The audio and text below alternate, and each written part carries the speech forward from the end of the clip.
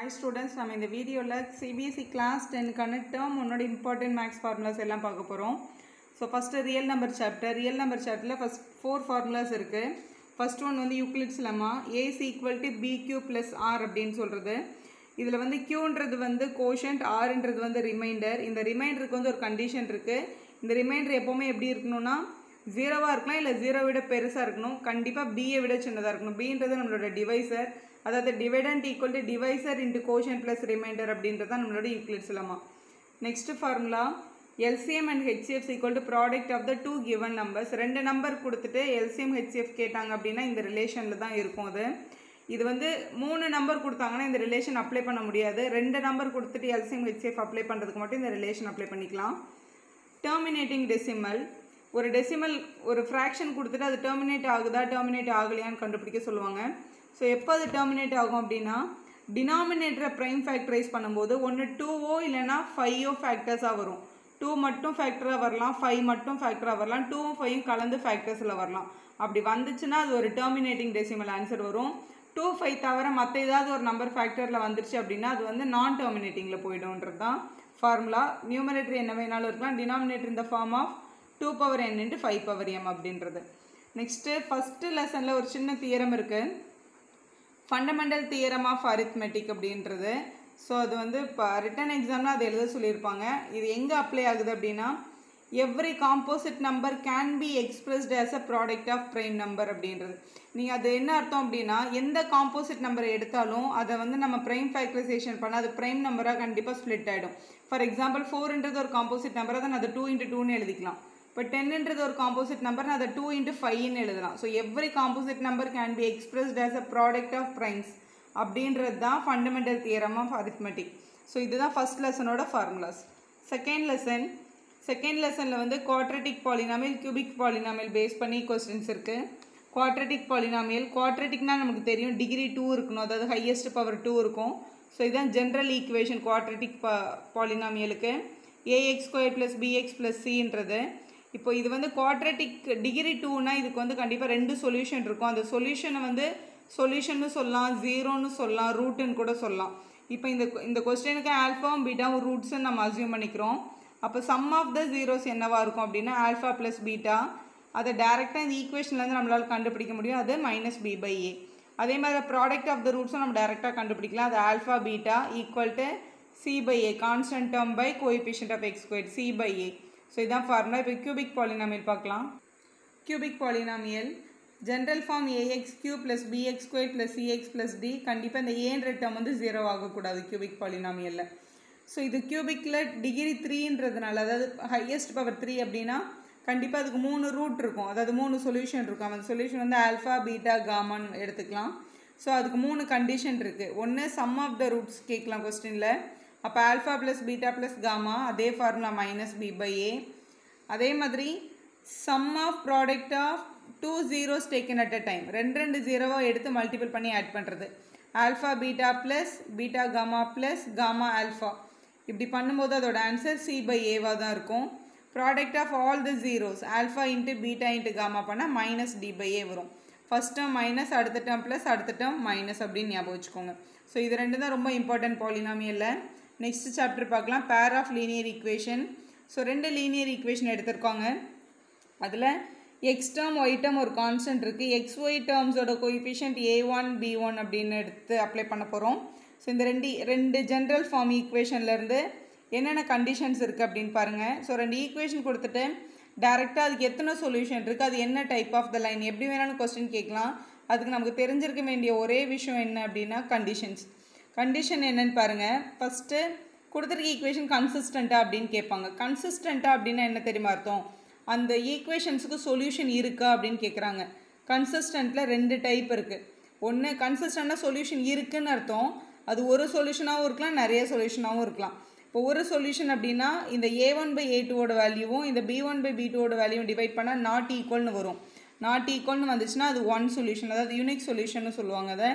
அந்த லைனுக்கு பேர் இன்டர்செக்டிங் லைன் அதாவது லைன்ஸ் வந்து இப்படி கட் ஆகும் ஒரே ஒரு பாயிண்டில் அதான் இன்டர்செக்டிங் லைன் ஒரு சொல்யூஷன் அதே மாதிரி A one by A two B one by B two கண்டுபிடிக்கும் போது அது ஈக்குவலாக வந்துச்சுன்னா கண்டிப்பாக சி ஒன் பை சி டூவோட வேல்யூ கண்டுபிடிக்கணும். கண்டுபிடிச்சி அதுவும் ஈக்குவலாக வந்துச்சுன்னா மூணுமே ஈக்குவலாக வந்துச்சுன்னா இன்ஃபினைட்லி மெனி சொல்யூஷன் நிறைய சொல்யூஷன் இருக்குன்னு அர்த்தம். அந்த லைன்ஸ் வந்து கோ இன்சிடென்ட் லைன்ஸ் ஒரு லைனுக்கு மேலேயே இன்னொரு லைன் போகும். எல்லாமே காமன் பாயிண்ட் அதான் கோ இன்சிடென்ட் லைன்ஸ் இப்போ இன்னொரு கண்டிஷன் இது ரெண்டு தான் கன்சிஸ்டன்ட் யூனிக் சொல்யூஷனும் இன்ஃபைனைட்லி மெனி சொல்யூஷனும் கன்சிஸ்டன்ட் எப்போ வந்து ஈக்குவேஷன் இன்கன்சிஸ்டன்ட்னு சொல்லி சொல்லுவாங்க அப்படின்னா அந்த ஈக்குவேஷனை சால்வ் பண்ணவே முடியாது. நோ சொல்யூஷன் அதாவது ஃபஸ்ட்டு ரெண்டும் ஈக்குவலாக இருக்கும். ஏ ஒன் பை ஏ டூவும் பி ஒன் பை பி டூவும் ஈக்குவலாக இருக்கும். ஸோ நம்ம C one by C two கண்டுபிடிக்கும் போது அது மட்டும் வேறு மாதிரி வரும். கான்ஸ்டன்ட் டேர்ம் மட்டும் வேறு மாதிரி வந்துச்சுன்னா அதுதான் நோ சொல்யூஷனோட கண்டிஷன் அந்த லைன்ஸ் எப்படி இருக்கும்னா பேரலல் லைன்ஸாக இருக்கும். ரெண்டும் மீட்டே பண்ணது இப்படி. தனித்தனியாக போயிடும். ஸோ பேரலல் லைன் தான் அதோட type area of shaded region ஒரு கொஸ்டின் இருக்குது அதாவது ரெண்டு லீனியர் ஈக்குவேஷன் கிராஃப் ஷீட்டில் வந்து ட்ரா பண்ணிவிட்டு எக்ஸ் ஆக்சிஸ் இல்லை ஒய் ஆக்சிஸோட கம்பைன் பண்ணி ஒரு ட்ரையாங்கிள் ரீஜன் எடுத்து அதோட ஏரியா என்ன அப்படின்னு கேட்பாங்க. கே ஸ்டடியில் கூட அந்த மாதிரி கொஸ்டின் இருக்குது அப்படி கேட்டாங்கன்னா அந்த ட்ரையாங்கிளை கண்டுபிடிக்கிறதுக்கு formula half into base into height apply பண்ணும். கோஆர்டினேட் ஜாமெட்ரி சாப்டர் பார்க்கலாம். ஃபஸ்ட்டு பேசிக் ஃபார்முலா வந்து distance distance between any two points இதில் ரொம்ப பேசிக்காக நீங்கள் ஞாபகம் வச்சுக்க வேண்டிய விஷயம்.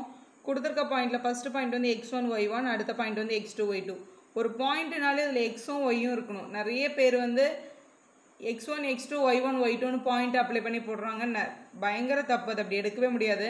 ஸோ பாயிண்ட் வந்து X one Y one X two Y டூன்னு அப்ளை பண்ணி தான் எல்லா ஃபார்முலும் அப்ளை பண்ணணும். Distance formula root of X two minus X one the whole square plus Y two minus Y one the whole ஸ்கொயர்ன்றது டிஸ்டன்ஸோட formula கொடுத்துருக்க unit இங்கே அப்படியே வரும்.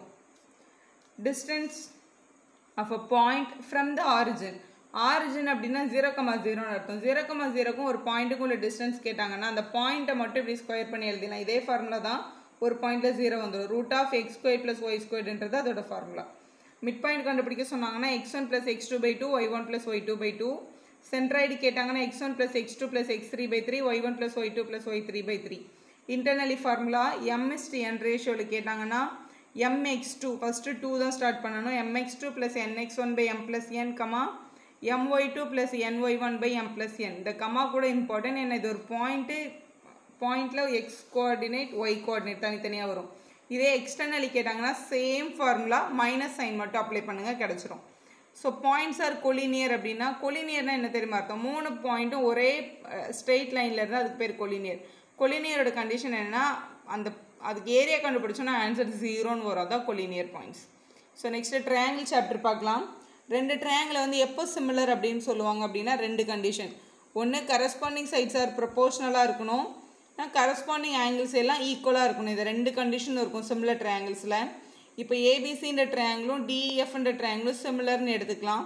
ஸோ சிமிலர்னால் இந்த கீழே இருக்க கண்டிஷன் வந்து சாட்டிஸ்ஃபை ஆகும். அதாவது இதோட சைடு ஃபஸ்ட்டு சைடு இங்கே இங்கே டிஇ இருக்குல்ல அப்போ ஏபி பை டியோட ஆன்சரும் இங்கே செகண்ட் தேர்ட் ஆல்ஃபபெட் பிசி இங்கே இஎஃப் பிசி பை இஎஃப்பும் ஏசி பை டிஎஃப் இந்த மூணு ரேஷோவும் சேமாக இருக்கும். அதான் கரஸ்பாண்டிங் சைட்ஸ் ஆர் ப்ரொபோஷனல் இந்த மாதிரி டிவைட் பண்ணால் கிடைக்கிற ஆன்சர் ஒரே மாதிரி இருக்கும். ஸோ இது சிமிலர் ட்ரையாங்கிளோட ஃபஸ்ட் கண்டிஷன் நெக்ஸ்ட்டு பாருங்கள் area of the similar triangle கேட்டாங்கன்னா area of triangle ABC by area of the triangle DF கேட்குறாங்க அப்படின்னா அதோட சைட்ஸோட ரேஷியோவை ஸ்கொயர் பண்ணால் போதும். AB square by DE square என்ன கொடுத்துருக்காங்களோ அதோட கரஸ்பாண்டிங் சைட்ஸ் எடுத்து ஸ்கொயர் பண்ணி எழுதுனீங்கன்னா அதுதான் ஏரியாவோட வேல்யூவாக இருக்கும். சப்போஸ் ஏரியா கேட்காம எக்ஸாமில் பெரிமீட்டர் கேட்டுட்டாங்கன்னா ஸ்கொயர் பண்ணக்கூடாது. சைடோட ரேஷியோ என்ன கிடைக்குதோ அதை எடுத்து அப்படியே எழுதிடுங்க மீடியன் கேட்டாலோ ஆல்டிடியூட் கேட்டாலோ எல்லாத்துக்கும் என்ன பண்ணணும்னா சைடு எடுத்து அப்படியே டிவைட் பண்ணி போட்ட வேண்டியதான் ஏபி பை டி அதான் ஆன்சரே ஸ்கொயர் பண்ணால் ஏரியாவுக்கு மட்டும்தான் ஸ்கொயர் வரும். மற்ற எல்லாம் அப்படியே டேரெக்டாக வந்துடும் பிபிடின்றது பேசிக் ப்ரொபோஷனாலிட்டி தீரம் இல்லை தேல்ஸ் தீரம் அப்படின்னு சொல்லலாம். ஒரு ட்ரையாங்கிள் ஏபிசின்னு இருக்குது இதில் சென்டரில் ஒரு லைன் வரைஞ்சிருக்காங்க. டிஇன் இந்த டிஇன்ற லைன் இந்த பிசிக்கு பேரலாக இருந்தால் மட்டும்தான் பிபிடி அப்ளை பண்ண முடியும். டியும் பிசியும் பேரலாக இருந்துச்சுன்னா இந்த கண்டிஷன் சாட்டிஸ்ஃபை ஆகும். AD by DBC equal to AE by EC அப்படின்றது தான் கண்டிஷன் ஸோ இது வந்து இப்படி மட்டும் தான் எழுத முடியுமானா இல்லை.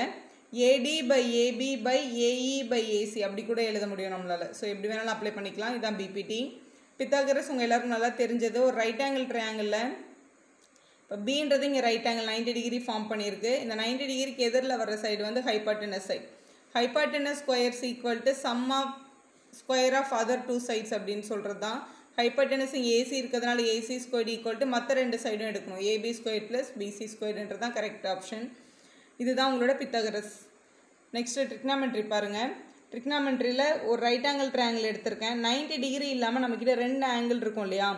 அந்த ரெண்டு ஆங்கிளுமே அக்யூட் ஆங்கிளாக தான் இருக்கும். அதில் ஏதாவது ஒரு ஆங்கிள் பேஸ் பண்ணி கொஸ்டின் இருக்கும். அந்த எந்த ஆங்கிள் கேட்குறாங்களோ அது தீட்டான்னு அசியூம் பண்ணியிருக்கேன். தீட்டாவுக்கு எதிரில் இருக்க சைடு தான் opposite side 90 degree first 90 degree உங்களுக்கு எங்கேன்னு தெரிஞ்சிரும்ல. 90 டிகிரிக்கு எதிரில் இருக்கிறது ஹைப்பர்டெனஸ்ன்னு முதல்ல கன்ஃபார்ம் பண்ணும். ஏன்னா இருக்கிறதுலே லாங்கஸ்ட் வந்து ஹைப்பர்டெனஸ் தான். ஸோ ஃபஸ்ட்டு ஹைப்பர்டெனஸ் எழுதிட்டு அதுக்கப்புறம் தீட்டாக்கு எதிரில் இருக்கிறது ஆப்போசிட்னு எழுதுங்க. அப்போ மிச்சம் இருக்க ஒரு சைடு அட்ஜஸ்டன்ட்னு எழுதுங்க.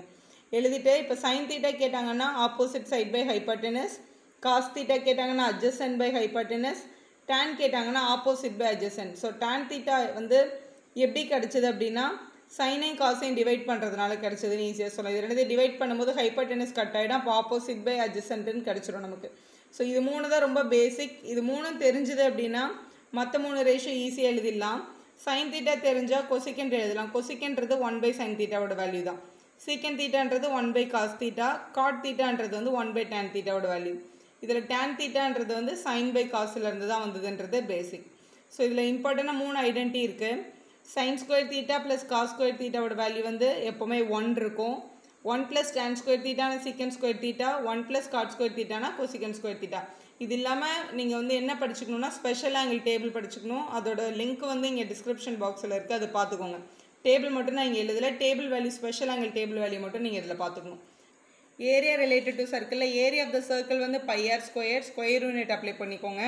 அதாவது கொஸ்டின் சென்டிமீட்டரில் இருந்தால் ஆன்சரில் சென்டிமீட்டர் ஸ்கொயர்னு எழுதணும் அவ்வளோதான் circumference of the சர்க்கிள்ன்றது two pi r so area of the sector என்ன அப்படின்னா ஏரியா ஆஃப் த செக்டர்ன்றது ஏரியா ஆஃப் த சர்க்கிளில் இருந்து தான் வரும். ஒன்றுமே இல்லை. சார் ஏரியா ஃபார்முலா கூட ஒரு theta by three sixty apply பண்ணுங்கள் ஆர்க் லென்த்ன்றது எதுலேருந்து வரும்னா சர்க்கம்ஃபரன்ஸ் ஆஃப் த சர்க்கிள்லேருந்து வரும். அப்போ தீட்டா பை த்ரீ சிக்ஸ்டின்ட்டு டூ பை ஆர்னு எழுதிடணும்.